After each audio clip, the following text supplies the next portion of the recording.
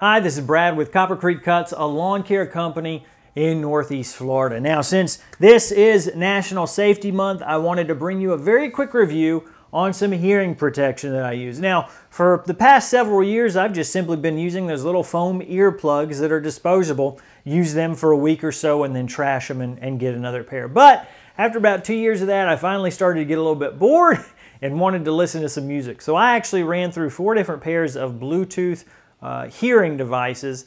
And as a quick note, be very careful what you plug them into. They take a very specific amperage and voltage charger. And so I blew a few of those out. I melted the batteries basically because they're very sensitive electronics and I plugged them into a phone charger that was, you know, for a battery a lot more powerful than what that one had. That's a side note. What I'd like to do is share my experiences with the ISOtunes Free system.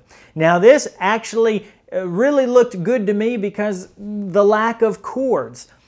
What I will say though is that the very first time I used them, one of them got knocked out of my ear and I spent about 30 minutes crawling around on my hands and knees looking for it before I finally found it in my lawnmower. Now thankfully it didn't hurt itself and it wasn't broken and it worked just fine. That is really the only negative that I can say about the ISOtunes Free. They work really well. Oh, here is one actually other negative. Some of the music, it depends on the genre. Some of the music I can kind of hear. Um, the loudest it ever gets to me is comfortable. Like if I'm using a string trimmer or a blower and it's idling, so lower volume than a, than a lawnmower, the loudest music I have, I'll say, yeah, I can hear that comfortably, but I always want the music to be louder. Of course, that's a safety feature. They don't want you to put in hearing protection just so you can crank the volume up to 15 and blow out your eardrums that way, right? But I would like the ability to make that volume a little bit higher. So that lack of cord, which could be a pro, it's also going to be a con if you ever lose one of these things and the volume is not very loud.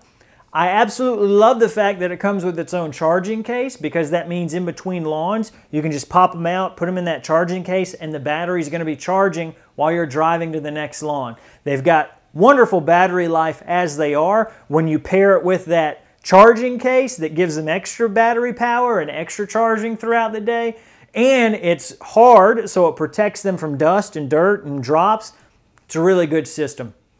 I want to say it was somewhere around $115, $120. I got mine off Amazon. And aside from those two little issues that I talked about, I really, really like these ISOtunes Free.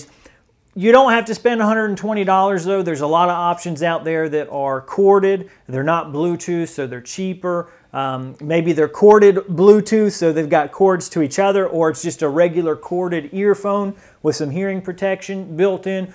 Whatever you end up using, find something that works for you because the the short version is if you're in this industry and you aren't wearing hearing protection, you're damaging yourself. So hopefully that short review and that short sermon didn't make you feel too bad.